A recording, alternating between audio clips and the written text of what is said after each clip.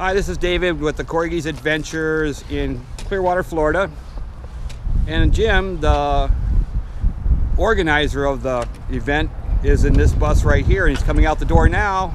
He doesn't know he's going to be on the video. Did you see me? Nope. And it's gone, his bus is called the Pair of Jacks. And we're washing his bus to make it all pretty for the show. and that's another friend. He's helping. The thing about Pair of Jacks is have trouble finding this bus after a couple of cocktails because the paint Now you know this is a video going to go live on YouTube. Okay, no problem. This is Jim.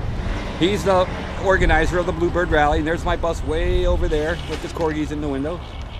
So we're helping him out wash his bus today. Help him out doing it. Better way to put Actually, we're washing his bus today, but he says he's going to threaten us with his mean ass, I mean, excuse me, butt stew. Can't swear on a YouTube video. I apologize. Anyways, we're going to get back to the washing the bus. This is David with the Corgi's Adventures. Say goodbye, goodbye guys. Hasta luego.